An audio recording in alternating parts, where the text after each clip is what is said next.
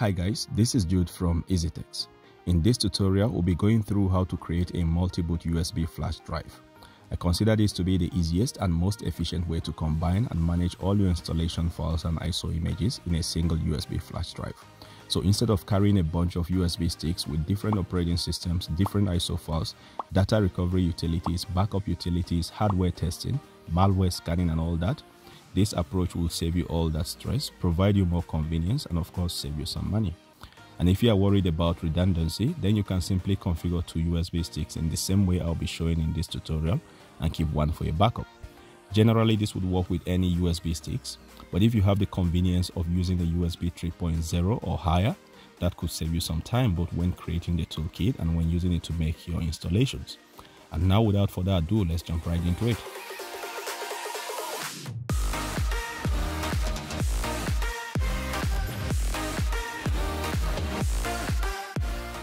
Okay, so today's video is brought to you by PrimeTech Mart. PrimeTech Mart is an online store for digital software licenses, mainly Microsoft licenses. They have Windows 10 Pro Retail, Windows 10 Home, Windows 10 Pro OEM licenses. They also offer different versions of Office, including this Home and Business Edition for both Windows and Mac. Now, obviously, these licenses are already at discounted prices, but in addition to that, PrimeTech Mart is offering you, the viewers, an additional 20% discount on any of these licenses if you choose to buy. The promo code for the 20% discount is ET20 as shown on the screen. They have several payment options you can choose from. Licenses are delivered instantly on the checkout page after you've made the payment, and a copy is also sent to your chosen email address for future referencing. I will leave their links down the video description. Okay, so in case you are wondering what size of USB flash drive you will need for this, that will depend on the size and number of ISO images you intend to store on the same flash drive. Here I'll be using a 32 gig USB 3.0 flash drive. If you intend to keep appending or adding more ISO images to your flash drive over time, then you should consider using a much bigger capacity than the size of your current ISO images. Next, you need a multi-boot USB toolkit. This is simply an application that provides you with a user-friendly interface to select your preferred ISO image from your stored images during boot up. Now there are quite a number of multi-boot utility toolkits out there, but here I'll be using Ventoy. I find it quite easy to use, it has great reviews and is completely free. So head over to ventoy.net and here you can see a bullet list of all its key features. It's 100% open source, meaning it's completely free. It's simple to use, it's fast and all that.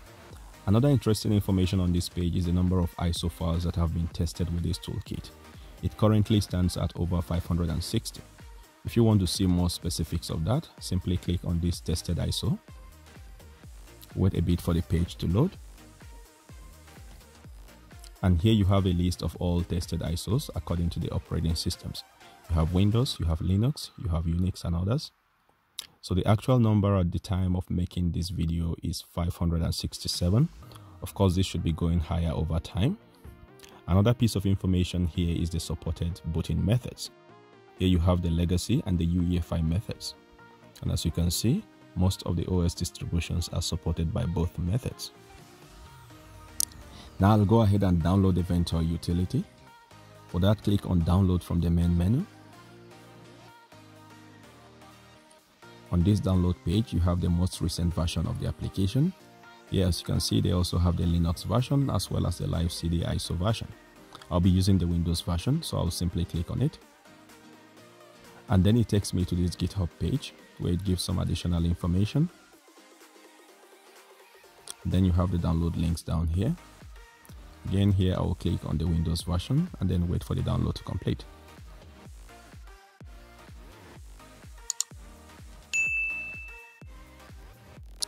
Afterwards, I'll just click to extract and then drag the folder to my desktop.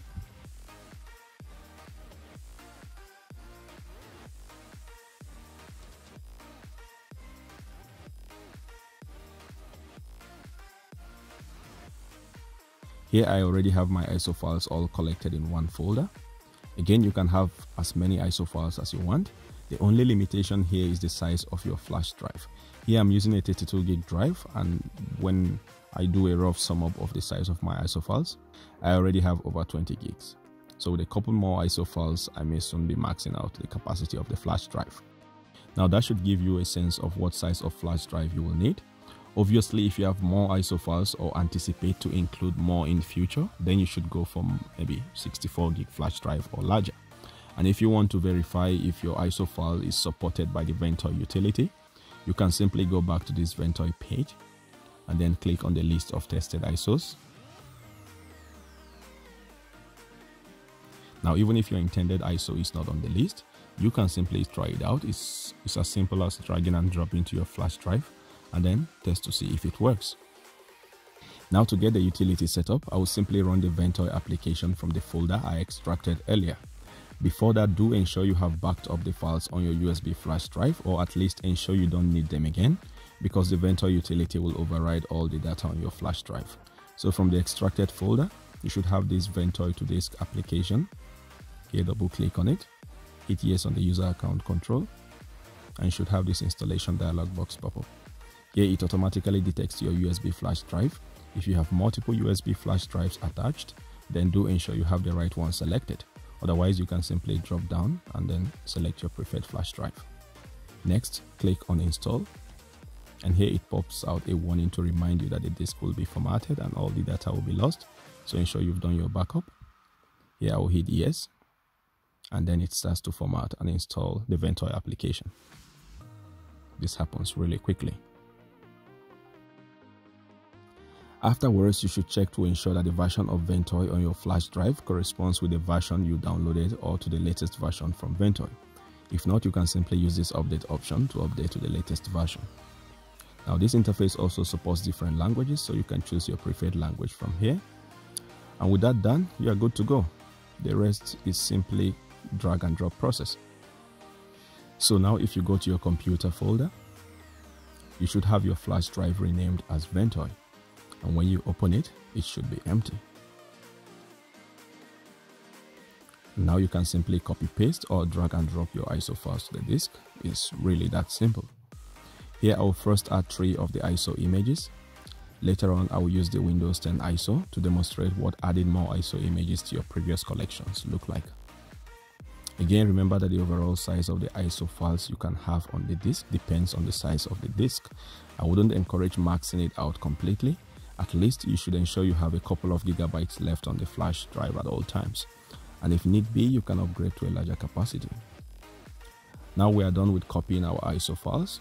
Let's see what this looks like when we try to boot up from the USB stick. So I plug my USB stick, power on the PC, and then select the USB drive from the one-time boot device option. Here as you can see, we have the Ventoy interface and from here we can choose what ISO image we would want to boot into.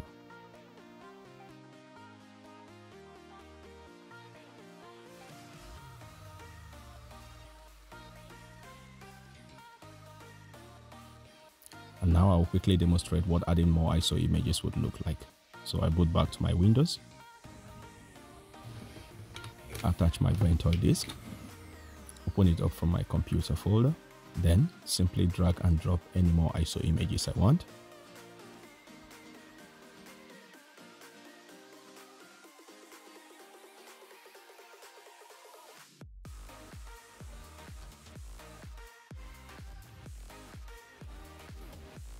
And when next I boot up from the USB, I should now have the new ISO file also added to the list of possible ISO images I can boot from.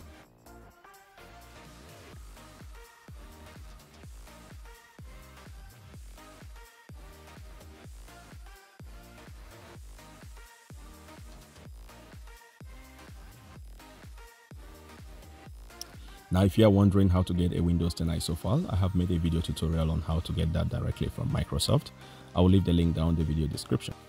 And again, if you would want to get Windows 10 or Office licenses, you can grab one from Prime Tech Mart. I will leave their links down the video description. And that is it for this tutorial. Give this video a thumbs up if you found it useful and share with anyone you think might want to see. Drop us a comment if you have any questions or feedbacks. Don't forget to subscribe and turn on notification for updates on future tech support videos like this one. Thanks for watching and see you in the next one.